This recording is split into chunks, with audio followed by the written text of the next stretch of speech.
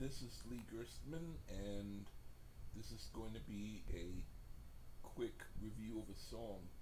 A song by the group Avenged Sevenfold called Bat Country.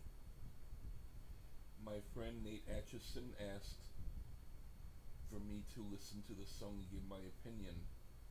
I haven't heard the whole album, so I can't say what I think of that, but I did like the song he was curious about how I thought about the drumming.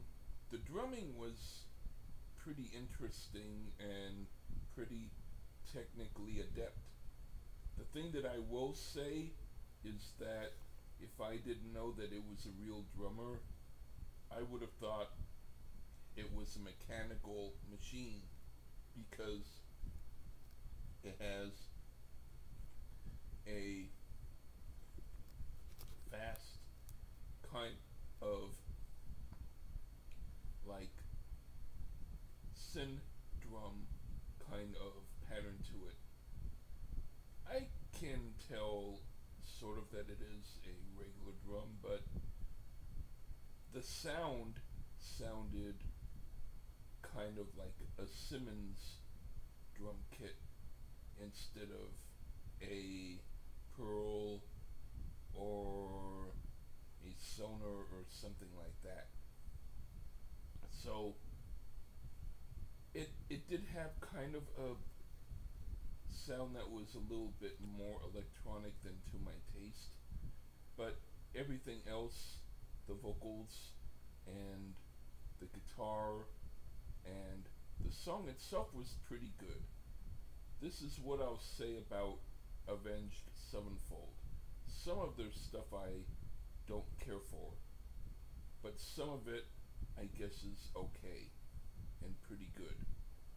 It's a group that I'm going to have to check out more in order to figure out how much I may like as opposed to how much I might not like. But they're not a group that I can say now a blanket statement like all their stuff sucks or all their stuff is good. I have to listen to each individual thing, which is okay. Just like Tygers of Pan Tang, there's some stuff of them that I like and some I don't.